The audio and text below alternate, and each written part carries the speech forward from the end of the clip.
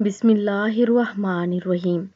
रसूलुल्लाह सल्लल्लाहु अलैहि वसल्लम ने फरमाया, कोई आदमी जो पाकिज़गी हासिल करता है और अच्छी तरह वज़ू करता है, फिर इन मसाजिद में से किसी मस्जिद का रुख करता है तो अल्लाह इसके हर कदम के बदले जो वो उठाता है, एक नेकी लिखता है और इसके सबब इसका एक दर्जा बुलंद फरमाता है और इसका एक गुनाह कम कर देता है।